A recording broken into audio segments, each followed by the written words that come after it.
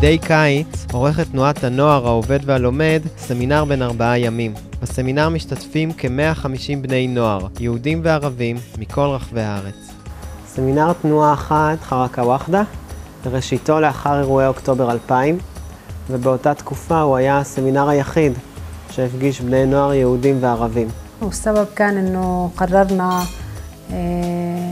مع انه الوضع كان كتير صعب وكان في عم بيصير في فجوات اكبر واكبر بين العرب واليهود بدولة اسرائيل آه، الحركة قررت انه تاخذ مسؤولية على هاي الامور اللي بتصير ونرجع نعمل لقاءات اللي هي اكثر مكثفة وهيك بدينا بالسمينار من سنة 2000 הוא נשען על שני בסיסים. הבסיס הראשון זה הרבה מאוד מפגש, משחק וכיף והנאה ושיחה והיכרות. והבסיס השני זה שיחות קשות מאוד. מה אופייה של הדמוקרטיה? מה המקום של הזהות שלנו בתוך המדינה הזאת? לאן אנחנו הולכים? מה אנחנו רוצים לעשות? מה אנחנו רוצים לבנות? וזה תוך כדי כאילו מפגש אה, ושיחות אה, בין, אה, בין בני נוער ערבים ויהודים, לנסות וליישם את שוויון ערך האדם. אם ליישם את שוויון ערך האדם, אז ברור מאליו שזה תוך כדי מפגש. והמפגש זה המקום היחיד שבו אתה כן מסוגל להתמודד עם, אה, עם הגזענות, עם הסטריאוטיפים, עם הפחדים שיש אה, אצל אה, כל, כל עם ועם. אני חושבת שבעיקר מה שמיוחד בו, שאנחנו דורשים מהחניכים להכיר גם במשותף ולא רק בשונה, ושיש כאן קריאה לאחריות משותפת על החברה שלנו. אנחנו מדברים על מה, על מה הם חושבים עליי, על מה אני חושבת עליהם, מדברים על המדינה בכללי, על מה עוזר אה, שיהיה יותר שלום.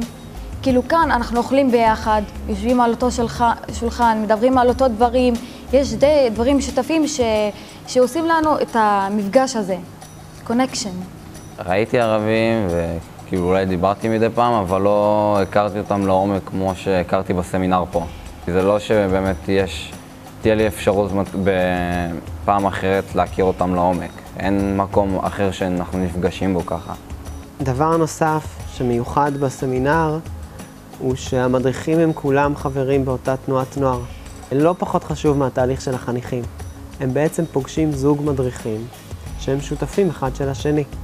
المخيم حركة واحدة مخيم عرب ويهود أعطاني كثير شغلات اللي خلاني فيها أتعرف على اليهود أكثر وأتقرب منهن وأخذ فكرة إنه مش بس هن اليهود اللي إحنا بنشوفهم بالتلفزيون وكمان إنه بخلي اليهود إنه يشوفوا إنه في مرشدة عربية عم ترشدهن وبتساعدهن إنه يفهموا الطرف الآخر מעולם לא נפגשתי בצורה הזאת עם ערבים, ולשבת עם, במעגל שכולנו שווים בו, וכולנו מדברים ביחד על החברה, וברור שאנחנו גם קוראים פה קריאה משותפת לכרות ברית על אחריות על החברה. אני חושבת שהמפגש הזה הוא לא חד פעמי. בני הנוער שמגיעים לסמינר הזה הם בני נוער שהם אה, אה, החליטו להיות פעילים בתוך, בתוך שתי החברות. אז אתה מגיע מנקודת אה, התחלה מאוד שונה מסתם עוד מפגש. אתה באמת רוצה לנסות ולהתמודד. בעצם מי שמגיע לכאן, אני קורא להם הנהגת החברה הערבית והיהודית העתידית של מדינת ישראל. דמויות בולטות בקינים, ביישובים בהם הם מגיעים, שמדריכים הרבה מאוד חניכים. הם עוברים כאן תהליך מאוד משמעותי. הם חוזרים חזרה לבתים שלהם, לקינים שלהם, לכפרים שלהם, והם אה, מספרים, והם מחנכים, והם מעצבים בעצם את כל היחס של החברה לשותפות היהודית-ערבית כאן במדינת ישראל.